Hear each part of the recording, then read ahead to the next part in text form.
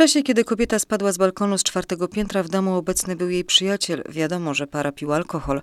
Mężczyzna, jak wskazało badanie, miał w organizmie 2 promile. Jak zeznał, kłócili się, a kobieta miała go wcześniej kilkakrotnie uderzyć.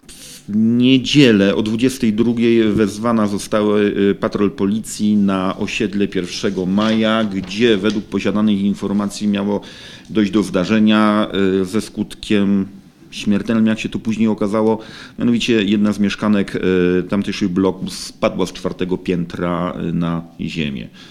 Początkowo żyła pomimo podjęcia czynności resuscytacyjnych przez y, przybyłe niezwłocznie pogotowie. Niestety doszło do jej śmierci.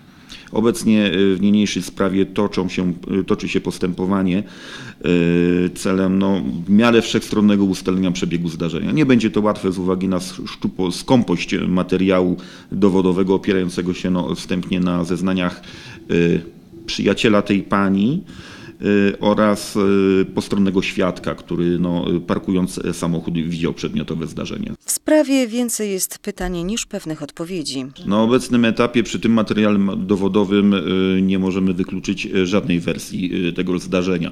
Postępowanie przygotowawcze będzie prowadzone celem eliminacji pewnych wersji y, śledczych, no i celem no, maksymalnie wszechstronnego wyjaśnienia wszystkich okoliczności tej sprawy. Świadkowie zeznali, że przyjaciel kobiety próbował wciągać ją z powrotem do mieszkania. Nie wiadomo jeszcze, jak zostanie zakwalifikowane to zdarzenie i czy ktokolwiek usłyszy zarzuty. Na obecnym etapie y, nie przedstawiono żadnej osobie żadnego zarzutu.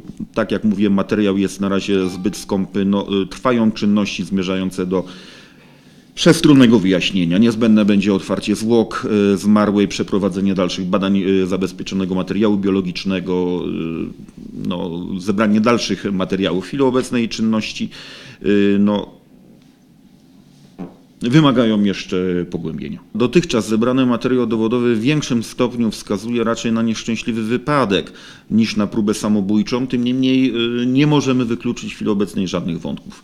Proces karny jest procesem dynamicznym i niejednokrotnie zebrany materiał pozwala przyjąć różne wersje i jeżeli prowadzimy postępowanie na przykład no, w kierunku przestępstwa nieumyślnego spowodowania śmierci, prawdą możliwym jest przedstawienie zarzutów yy, o, o no nie wiem, doprowadzenie kogoś do targnięcia się na własne życie, y, bądź też umorzenia w ogóle postępowania wobec stwierdzenia, iż y, przedmiotowe zdarzenie nie było spowodowane przestępczym działaniem jakiejś innej osoby. W najbliższym czasie znane będą wyniki sekcji zwłok, co może rzucić nowe światło na sprawę.